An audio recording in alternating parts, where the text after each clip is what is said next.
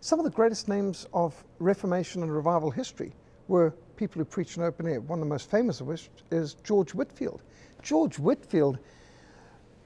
was excluded from the pulpits of his day, and yet he went out and he preached not only to the coal miners and to the people at the sports events in the fields, he preached in the marketplaces. He preached to more people than there probably uh, were in the whole of the North American colonies at that time. He was the first public figure known by all people in the North American colonies because of his open air street preaching. In fact, I don't know how many Americans realize this, but there wouldn't be a United States of America without George Whitefield and the Great Evangelical Awakening. Because at the time that George Whitefield began his work, which was just one generation before the American War of Independence,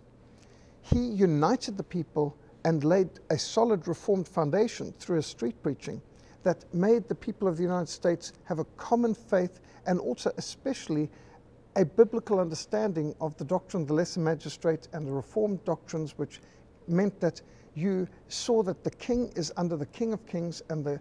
government is a delegated, limited authority owing allegiance to the highest authority, which is the Creator God who has made them his deacons, his ministers of grace, Romans 13.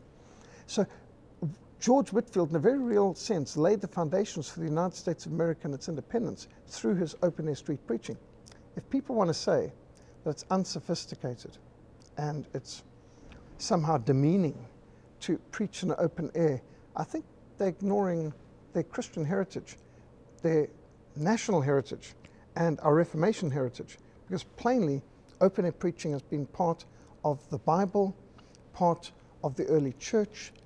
part of church history and Reformation history, and it's certainly a key part of United States history.